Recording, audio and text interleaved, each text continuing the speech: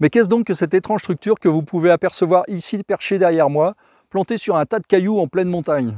Quelle peut bien être la raison de sa présence ici à 1681 mètres d'altitude? Et surtout, pourquoi avoir donné ce nom italien de Cassini à ce sommet, deuxième plus haut sommet de ce massif derrière le Finiel, qui est lui le point culminant de la Lozère et qui se trouve à quelques kilomètres d'ici?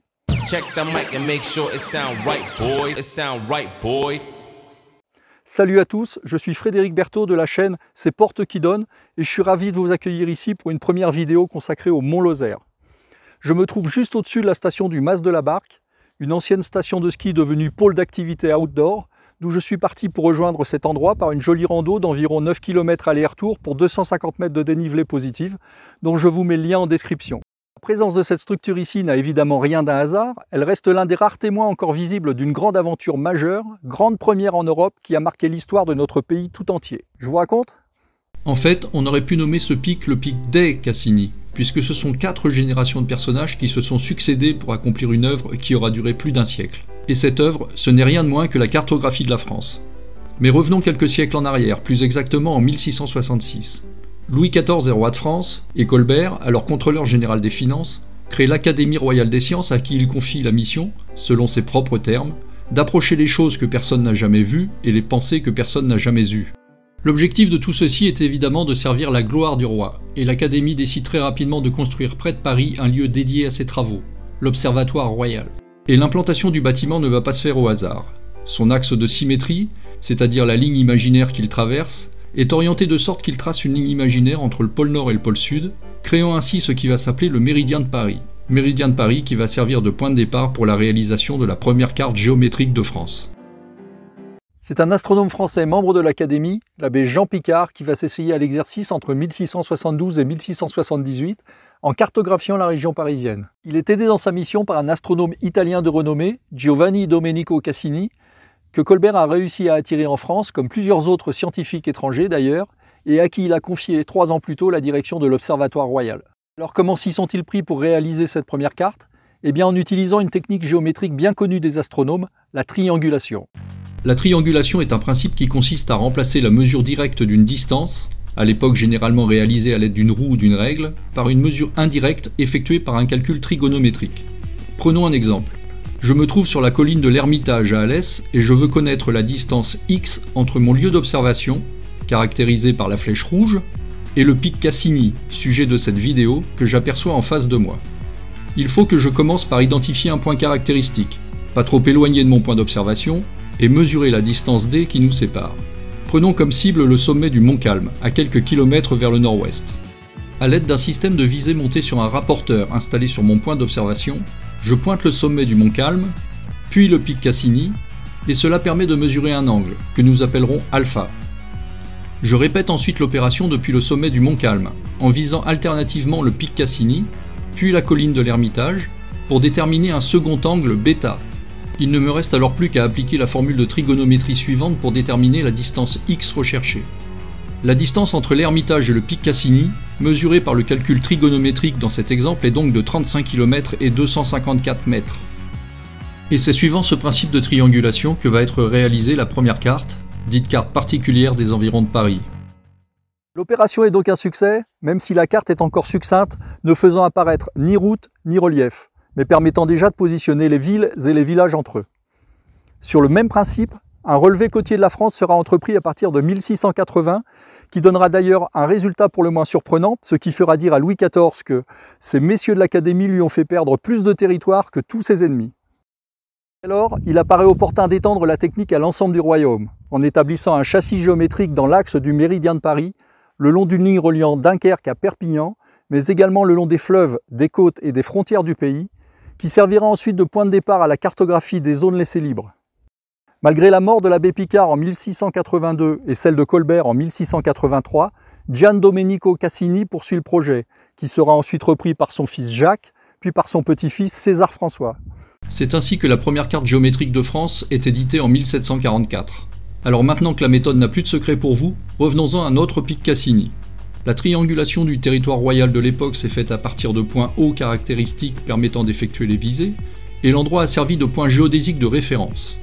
Alors, est-ce qu'on le retrouve sur la carte de 1744 Eh bien oui, mais évidemment pas sous son nom actuel. Il apparaît sous le nom de signal de Bellecoste, du nom du hameau qui se situe en dessous. L'endroit connaît d'ailleurs plusieurs appellations, comme le relate Édouard Alfred Martel, qui est considéré comme le père de la spéléologie moderne, et qui a décrit la région dans son ouvrage intitulé Les Cévennes et la région d'Écosse, édition de 1893.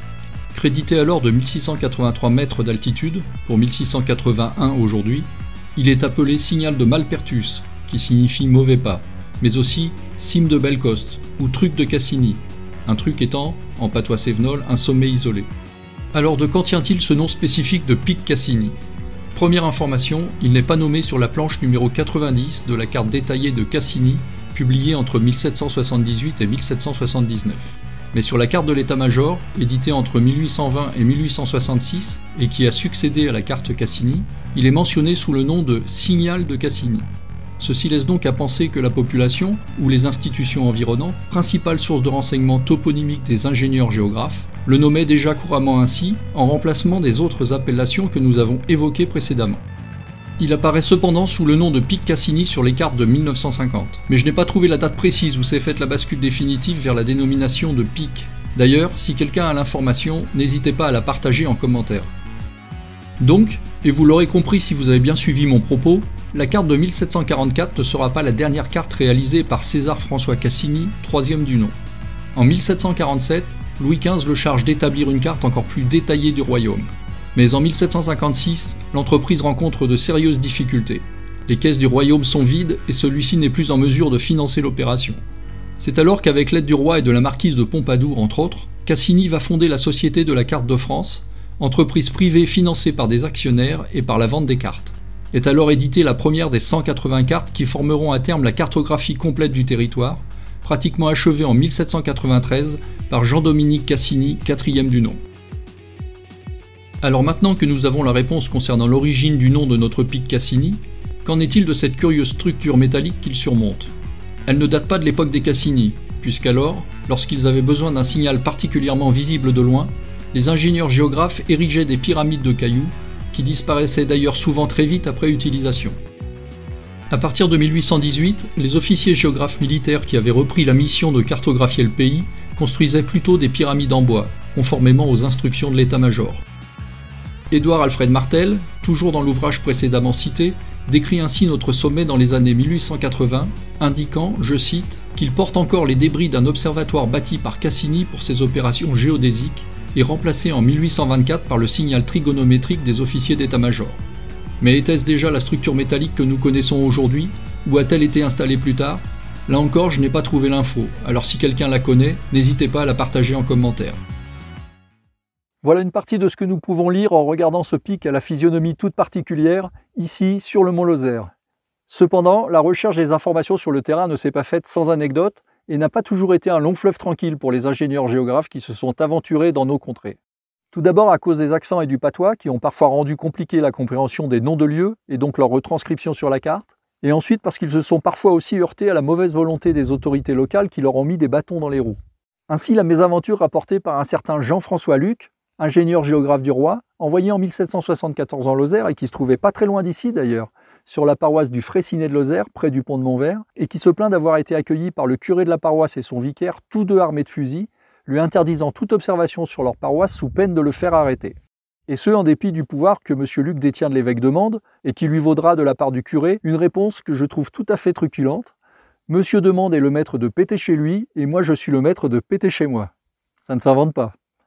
Ce qui fera d'ailleurs écrire à notre géographe dans un courrier où il se plaint de cet accrochage, et je garde sciemment sa façon de s'exprimer. Si vous n'avez pas la bonté de me faire rendre justice, je continuerai point ma carte, ou je la ferai à vue, et après cela on se plaindra que l'on aura une mauvaise carte à cet endroit. Na. L'histoire ne nous dit pas comment s'est terminé cet épisode, mais une chose est sûre, c'est que la carte Cassini est une belle prouesse technique et une belle réalisation, qui n'a pas à rougir de la comparaison avec nos cartes actuelles pour ce qui concerne sa précision. Elle reste d'ailleurs une ressource utile pour les archéologues, les généalogistes et autres historiens. Voilà, cette vidéo est maintenant terminée. J'espère qu'elle vous a plu et qu'elle vous aura donné envie de redécouvrir ou découvrir cet endroit qui mérite vraiment la balade, qui plus est pour la beauté des paysages qui l'entourent et un 360 degrés à tomber par terre. N'hésitez pas à liker, partager, commenter et à vous abonner pour découvrir notre région à travers la petite et la grande histoire qui l'ont construite. En attendant de vous retrouver pour de nouvelles aventures, sortez, promenez-vous, poussez les portes et faites de belles découvertes.